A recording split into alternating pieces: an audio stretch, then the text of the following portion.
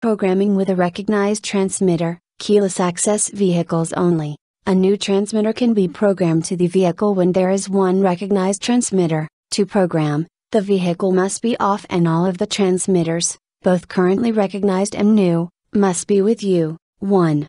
Remove the plastic trim piece from the small storage area next to the accessory power outlet toward the front of the console. To access the transmitter slot, push the button on the recognized transmitter to extend the key blade.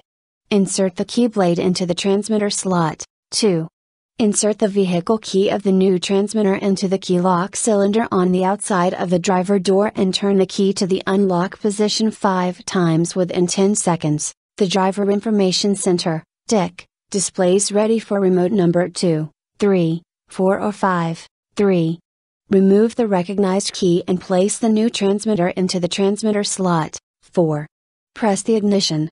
When the transmitter is learned, the DIC will show that it is ready to program the next transmitter. 5.